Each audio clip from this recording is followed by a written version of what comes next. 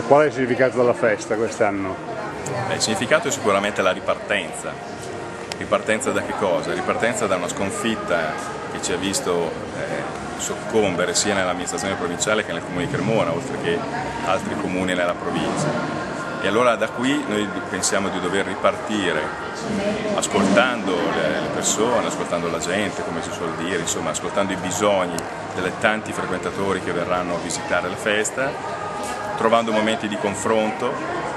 con i due candidati, e Torchio, con i nostri parlamentari, con personaggi magari più conosciuti sul livello nazionale del Partito Democratico e non solo per dire bene, oggi siamo all'opposizione, come si deve fare un'opposizione in un'amministrazione governata bene dai nostri esponenti? E questo è un po' il senso di quello che dovremo interrogarci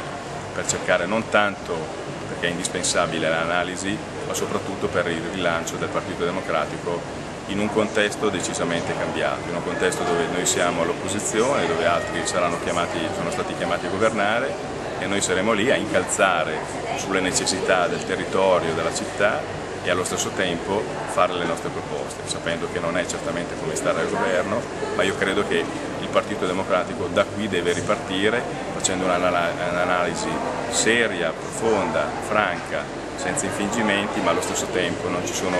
colpevoli o capi espiatori da ricercare, c'è solo da ricostruire, da costruire un partito, abbiamo anche il congresso alle porte, quindi anche durante la festa inizieremo a discutere di queste cose.